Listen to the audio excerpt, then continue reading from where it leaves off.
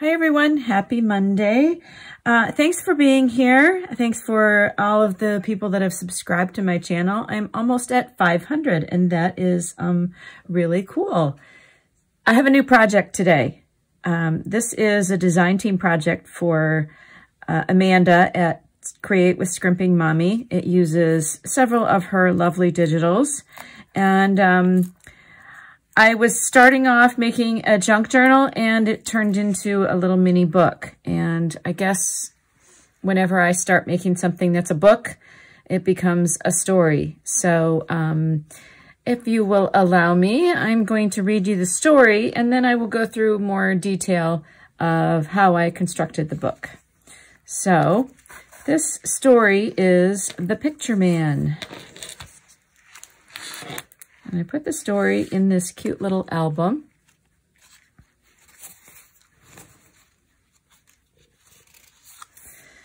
I am a traveling photographer, the picture man, as the children like to call me. My livelihood is accepting portrait commissions in various cities. My train departs tomorrow for a month-long journey. Along with my many cases and trunks I carry close to my heart, Matilda and Jane, my wife and young daughter, whom I will dearly miss. My room here is small, but the boarding house matron, who is an accomplished cook and seamstress, has allowed me access to her wonderful library. I shall not lack for comfort. A family sitting today, a gentleman with 12 children. Can you imagine that, Matilda? Before I retire, letters from home.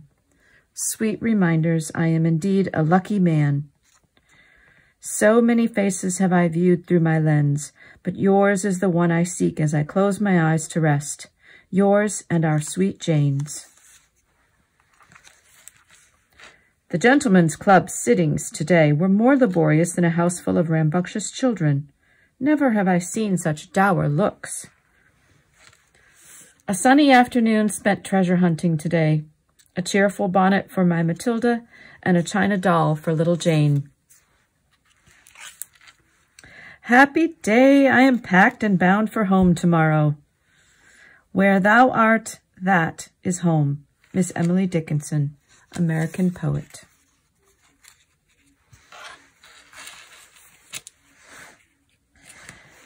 So, very Victorian vibe here. I used um, several of Amanda's kits, uh, Victorian or Vintage Elements, Dapper Gent, Victorian Gent, a mini book kit that she did, travel, journal tags, mega bundle, book lovers emporium. She has so many of them, um, and a lot of them were freebies on her Ko-fi site or on her Facebook page. So go and check that out. The links are below this video. And um, as I said, I started by writing the uh, story in this little miniature album that was part of her kit and tuck it under this belly band. And the book construction is basically three regular envelopes folded in half and bound together and then the um, decorative papers added after I stitched around them and added all the elements to them. And then the ribbon underneath the front and back page elements. And then this cool binding here is called a tacket binding, and it's another option um, as opposed to an easy pamphlet stitch. It's still very easy, and I do plan to demo how to do that. So in keeping with Victorian style, I had a lot of lace and buttons, and um, I loved all the vintage elements. And I tried to make it interactive. I do love an interactive book. So, but um, I tried to uh, just use the images and, you know, the, before long, the story just sort of started telling itself. And so I had to write it down, and to me, it just made the book feel a little more complete. I have things tucked in that, um, you know, that seem significant to the story. And Amanda's wide variety of digitals made it pretty easy to tell this one.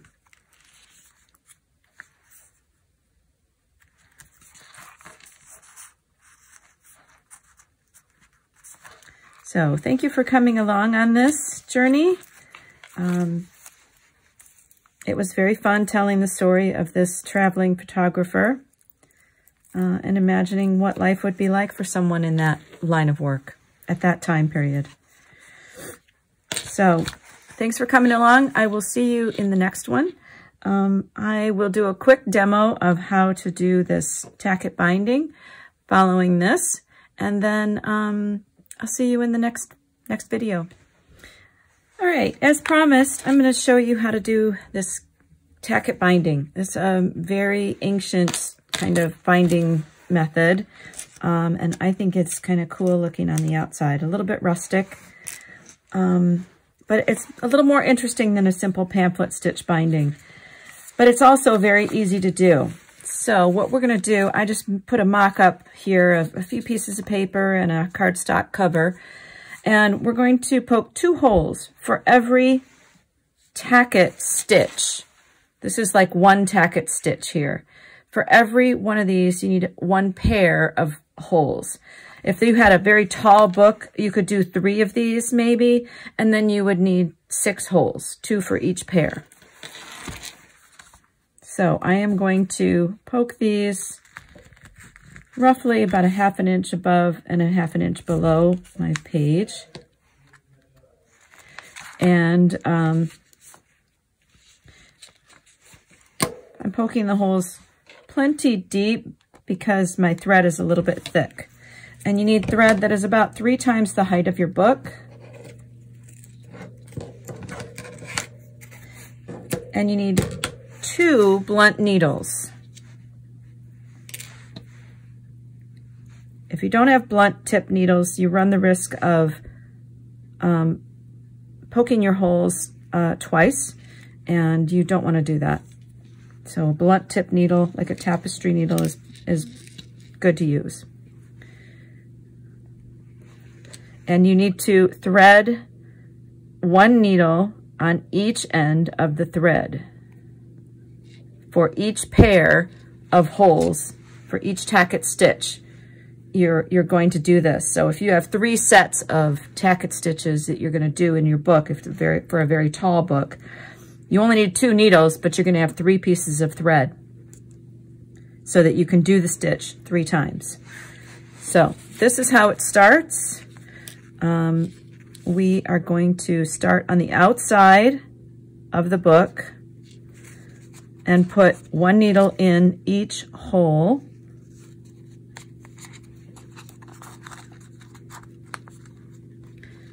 Bring it to the inside and then make sure that you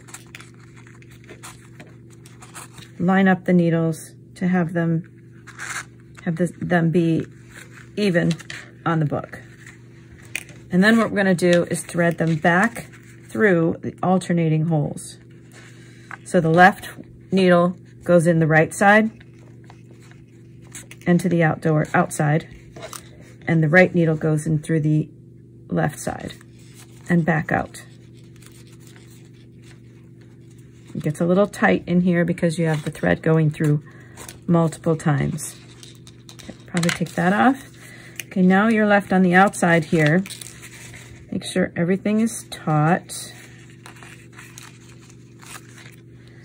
And you're going to take one needle and twist it around that center stitch. This is very thick thread, so I would say maybe three times. And then the last one, I'm going to take it around like I'm doing another stitch, but I'm going to bring my needle up through the loop to form a, a quilter's knot. And then I'm going to repeat that so that there's a secure knot at the end of this, of that stitch.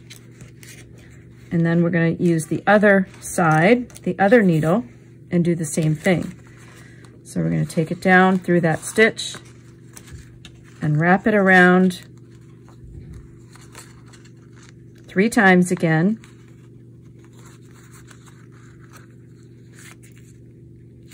And then we're going to take it one more time, but we're going to go through the loop instead of bringing it through. And this will be a knot at the end. And then double that to do the knot securely. I'm running out of uh, needle space.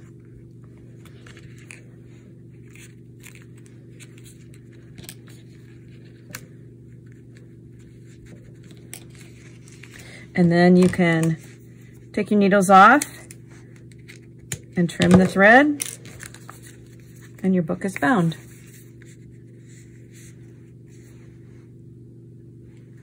So thanks for coming along. See you in the next one.